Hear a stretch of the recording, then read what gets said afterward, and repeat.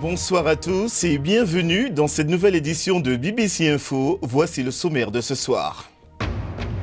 Aux États-Unis, le rapport Mueller en fait rendu public. Le ministre de la Justice assure que ce rapport lève Donald Trump des accusations de collusion avec la Russie. Une semaine après la chute d'Omar el-Béchir, les manifestations se poursuivent au Soudan. Deux de ses frères ont été arrêtés et placés en détention.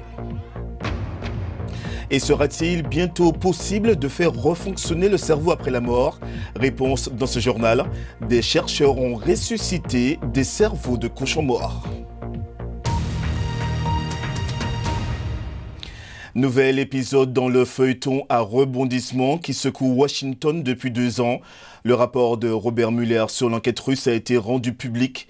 Les 400 pages ont été expurgées de certains paragraphes sensibles, mais les parlementaires américains vont pouvoir analyser son contenu. Le ministre de la Justice William Barr a déclaré tout à l'heure que le rapport lavait le président des soupçons qui pesaient sur lui. Des agents fédéraux et des procureurs scrutaient le comportement de Donald Trump avant et après son entrée en fonction, ainsi que le comportement de ses associés. Simultanément, il y avait de vives spéculations dans les médias sur la culpabilité du président. Mais comme il le disait depuis le début, il n'y a eu, en réalité, aucune collusion. Et comme le procureur spécial le reconnaît, des preuves montrent que le président était frustré et en colère, sincèrement convaincu que cette enquête portait atteinte à sa présidence. William Barr était le seul jusqu'ici qui avait pu examiner le rapport Mueller. L'interprétation du ministre de la Justice n'avait pas convaincu les démocrates qui poussaient depuis des semaines pour la publication intégrée du rapport. Rappel des faits avec Olivier Weber. En apparence, Donald Trump est on ne peut plus confiant sur le contenu du rapport. J'ai gagné, pas de collusion, pas d'obstruction, j'ai gagné. Je n'ai pas lu le rapport Mueller, je n'ai pas vu le rapport Mueller. Et franchement, je me moque du rapport Mueller. Cette désinvolture repose sur ce qui avait déjà été révélé du rapport le mois dernier que la Russie a certes tenté d'aider Donald Trump à remporter l'élection grâce aux réseaux sociaux et en piratant des emails, mais que rien ne permet de prouver que la campagne Trump a comploté avec la Russie. Sur la question de l'obstruction de justice, le procureur spécial Robert Mueller n'a pas conclu que le président avait commis un crime, mais il ne l'a pas non plus exonéré. Ces conclusions ne venaient pour l'instant que d'une seule source, un résumé de quatre pages du ministre de la Justice William Barr, nommé par Donald Trump certains remettent en cause son interprétation. Au lieu de laisser parler les faits, le ministre de la Justice a pris l'initiative inédite d'interpréter les deux années d'enquête Miller. Notre inquiétude est que William Barr refuse de laisser parler les faits et tente d'imposer une version qui arrange la Maison-Blanche. Donald Trump a peut-être le sentiment que le spectre de l'enquête Mueller s'est éloigné, mais la version complète du rapport, même expurgée, pourrait contenir des détails compromettants sur la conduite du président, même s'ils ne suffisent pas à le poursuivre en justice. 400 pages, 500 témoins, un an et demi d'enquête. Voici les grandes dates de cette saga politico-judiciaire américaine. En juillet 2016, le FBI ouvrait une enquête sur une collusion présumée entre la campagne de Donald Trump et la Russie avant qu'il n'entre à la Maison-Blanche. En mai 2017, le département de la justice nommait un procureur spécial, Robert Mueller, ancien directeur du FBI, pour mener l'enquête.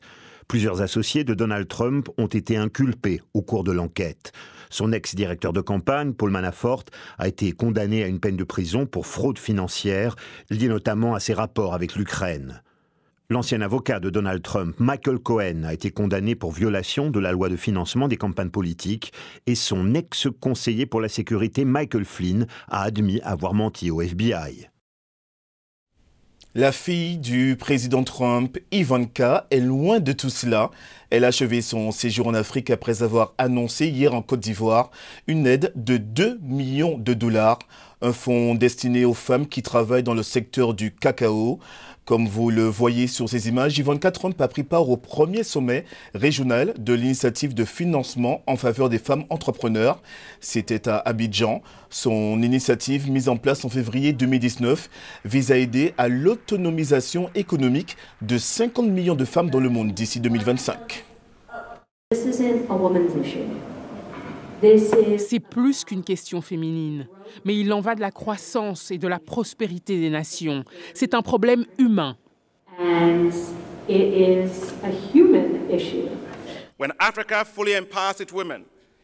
Quand l'Afrique rendra ses femmes autonomes, le continent volera avec ses deux ailes. La voix des femmes ne sera plus laissée pour compte. Quand les femmes gagnent, l'Afrique gagne. À la une également, le conseil militaire soudanais qui tente par tous les moyens de calmer la rue. Deux des cinq frères de l'ancien président Omar el-Béchir ont été arrêtés dans le cadre d'une campagne lancée contre les principales personnalités de l'ancien régime et les individus soupçonnés de corruption. Et pourtant, la situation est toujours instable. Les manifestants présents devant le QG de l'armée réclament à l'unisson la mise en place des gouvernements civils. Lamine Noureddin Konkobo. Le changement est en marche au Soudan, mais dans les rues de Khartoum, on veut que les choses aillent beaucoup plus vite. Dans un pays où la dissidence était punie de torture et d'intimidation, ces manifestants ont tout risqué. Ils campent désormais sur leur position et promettent de maintenir la pression jusqu'à ce qu'ils obtiennent gain de cause. Et la liste de leurs revendications est une si longue liste. Ces trois manifestants avaient tous été arrêtés de nuit à domicile par les forces de sécurité. Ils ont été détenus pendant des mois dans des conditions épouvantables. Abdallah n'a que 21 ans. Il est étudiant en technique de l'information. Il raconte avoir été forcé à se tenir debout toute la nuit, torturé à l'aide d'un bâton électrique. Il a vu beaucoup d'autres jeunes passer à tabac à répétition. Marwa est enseignante au secondaire. Elle a 32 ans et a été détenue pendant des semaines. Marwa raconte que l'une de leurs revendications, c'est l'arrestation des anciens dignitaires du régime, mais que cette revendication n'est pas encore satisfaite. Elle se plaint que l'armée ne fait que des promesses vides. L'armée au Soudan reste divisée, avec des officiers subalternes ayant choisi de prendre le parti des manifestants, assurant leur protection. Le déclic des manifestations, faut le rappeler, la flambée des prix du pain et d'autres produits de première nécessité. Essentiellement, c'est une colère contre l'inflation au départ qui s'est transformée en soulèvement contre le président al-Bashir. Le pays est en manque cruel de devises et l'on a du mal à s'en sortir. Mais la vie continue malgré les manifestations qui paralysent la ville de Khartoum. La colère est maintenant dirigée contre la junte qui tente de s'accrocher. La tension dans les rues engendre des embouteillages et plus les manifestations se poursuivent, plus les citoyens ordinaires perdent patience. À l'espace d'une semaine, le Soudan a vécu un coup d'État, un changement de direction, toute une série de limogeages et de remaniements mais les milliers de manifestants campent toujours dans les rues de Khartoum. Ils sont méfiants des généraux qui ont repris les rênes du pays. Pour les révolutionnaires, le changement réel interviendra seulement quand les militaires auront rendu le pouvoir aux civils. Le reste de l'actualité en bref et en images. Le gouvernement de Tripoli a émis un mandat d'arrêt contre le maréchal Haftar, dont les troupes attaquent la capitale depuis deux semaines. Les combats ont fait plus de 200 morts selon l'OMS. L'émissaire de l'ONU en Libye, Ghassan Salamé, a estimé que l'assaut lancé par le maréchal Haftar contre Tripoli avait abouti à une impasse et a mis en garde contre un embrasement généralisé.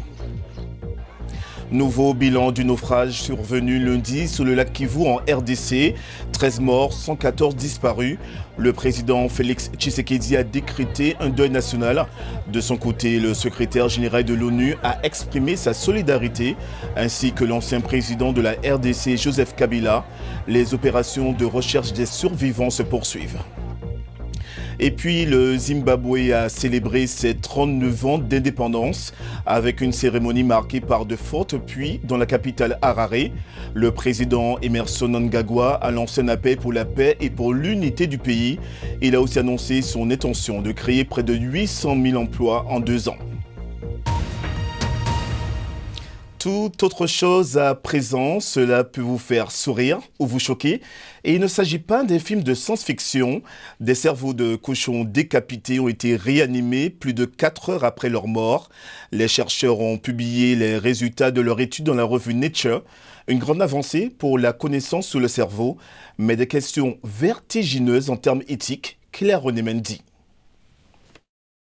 Le cerveau est l'organe le plus complexe du corps.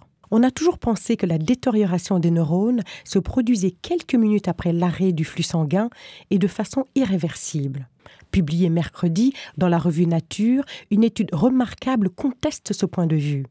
Les chercheurs de l'école de médecine de Yale ont utilisé 32 cerveaux prélevés sur des porcs morts depuis 4 heures. Grâce à un système de pompe baptisé BrainX, ils les ont irrigués durant 6 heures avec une solution spéciale à une température équivalente à celle du corps, 37 degrés. Les résultats ont été frappants des heures après la mort. Diminution de la destruction des cellules cérébrales, préservation des fonctions circulatoires. Le cerveau a donc commencé à utiliser de l'énergie et de l'oxygène et la circulation sanguine a été rétablie. Cette vidéo montre des vaisseaux sanguins d'organes partiellement réanimés, sans toutefois d'activité cérébrale qui serait le signe de phénomènes de conscience ou de perception.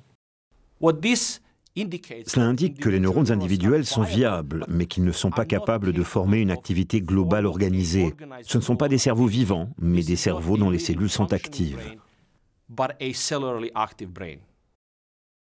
Pendant le test, l'électroencéphalogramme n'enregistrait aucune activité électrique des cerveaux. Les cerveaux n'étaient donc pas vivants. Les chercheurs n'ont pas eu à anesthésier ni à refroidir les organes, un point éthique crucial. Il semble que cette technologie, même si elle pouvait ramener des cellules individuelles à la vie, elle ne peut pas ramener la personne à la vie. Il ne peut pas faire fonctionner le cerveau dans son ensemble. Ce qui est important d'un point de vue éthique au sujet de la mort cérébrale, c'est que la personne n'est plus. Sa personnalité, ses pensées, ses souvenirs ont disparu à jamais. Alors, à quoi cette recherche pourrait-elle mener? Elle permet d'abord aux scientifiques d'étudier le cerveau endommagé par des maladies comme Alzheimer ou un AVC. À long terme, cela pourrait leur permettre de ranimer des parties d'un cerveau endommagé. Mais elle ne signifie pas qu'une personne en état de mort cérébrale peut être ramenée à la vie. L'idée d'un cerveau maintenu en activité et en toute conscience hors du corps tient encore de la science-fiction.